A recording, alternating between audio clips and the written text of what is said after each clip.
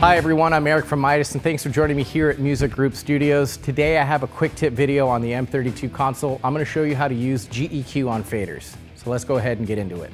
Okay, so when you're adjusting your graphic EQs, uh, usually you would have them inserted on a mix bus. Uh, in this example, I'm going to show you uh, my left and right bus here, which I have an EQ inserted on it. I'm just going to go to my effects button here.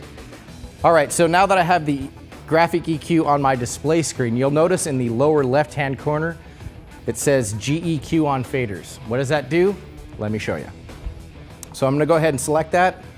Now you just saw these faders move. These faders are now the sliders of that graphic EQ that I have up on my screen. So I can actually move this box around and this box will select my frequency regions and now I can pull out individual frequencies with these faders as opposed to doing it on the screen. That'll save me a lot of time.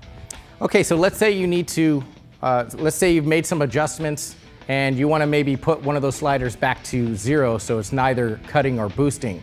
That's what these mute buttons are here for. So some of them are lit, some of them are not.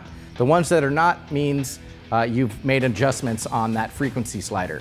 So let's go ahead and hit a mute button here and it brings it back to zero. So you now, now you're neither cutting or boosting that frequency.